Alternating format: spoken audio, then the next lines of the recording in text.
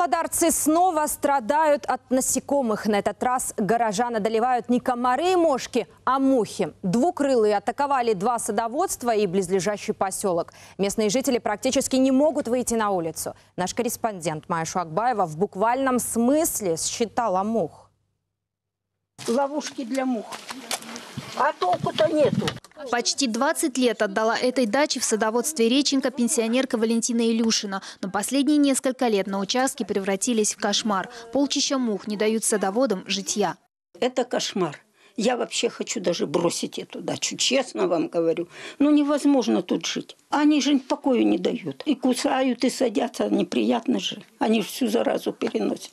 Дошло до того, что дачники по 15-20 тысяч тенге тратят на ящики с дихлофосом. Сейчас это самый дефицитный товар, как и клейки и ленты. Но даже они не спасают.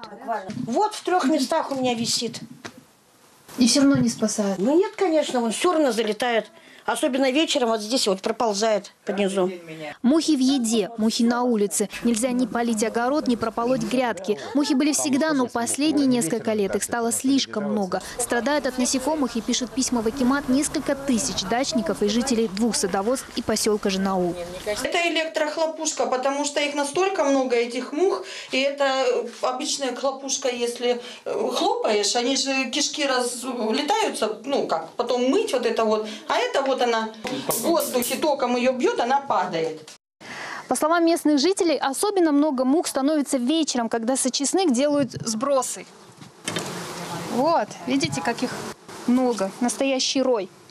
Очистные канализационных стоков метров 50 от дач. Вечером по окрестностям разносятся сероводородные амбре от выбросов. Как раз после них, особенно в безветренную погоду, мух можно даже услышать. Они роятся в воздухе.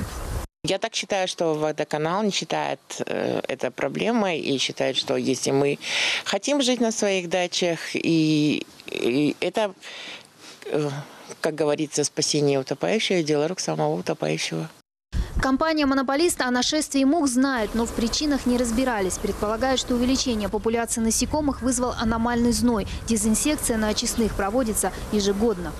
К сожалению, санитарные правила не устанавливают четких критериев кратности э, обработки. Все зависит от текущих санитарно-эпидемиологических и энтомологических показателей. И в этой связи наши, наше предприятие сейчас проводит конкурсные процедуры э, с целью определить потенциального поставщика этих услуг и провести дополнительную обработку. На повторную дезинсекцию монополист готов потратить миллион тенге. Ее проведут, когда найдется подрядчик, готовый за эти деньги потравить мух. Майя Шуакбаева, Асхат Амамбеков, Павлодар, Первый канал Евразия.